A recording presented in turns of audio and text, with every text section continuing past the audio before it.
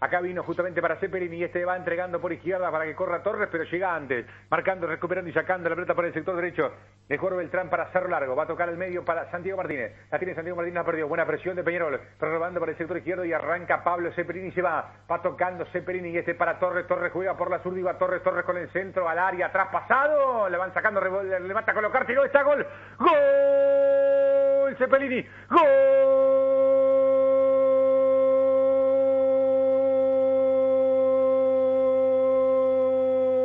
De Peñarol, Pablo Cepelini. Gran definición de afuera del área del número 8, Carbonero. Entraron los que saben. Se juntan los volantes que habitualmente hacen jugar un fútbol entretenido, un fútbol moderno de mitad de cancha hacia adelante. Torres adentro, ya estaba Canovio. Cepelini adentro. Se juntaron los que saben. Se la dieron el número 8, que pasa por un gran momento. Y agarró, miró, vio que tenía para definir, que tenía ángulo. Y la coloca contra el caño zurdo del arquero Bentancur. La arrancó Torres por izquierda, atrás. La sacó, rebotó y Cepelini, ¿cómo venía? Con pie derecho. Abre la cuenta para Peñarol, Peñarol 1.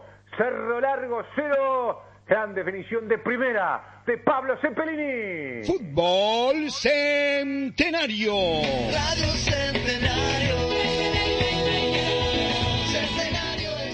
Incluso en las peores canchas, los que mejor juegan son los que hacen la diferencia. Pablo Cepelini fue el que recuperó pegadito a Facundo Torres, en un error en el medio de la cancha de Cerro Largo, avanzó y entregó justamente para el puntero zurdo que tras el centro y el rechace de primera con borde interno, con Vado, una gran definición, una definición con categoría de esos jugadores que saben meter pases, que saben ser precisos, que saben tener la pelota abajo de la suela. Cepelini y Larriera cambian el partido.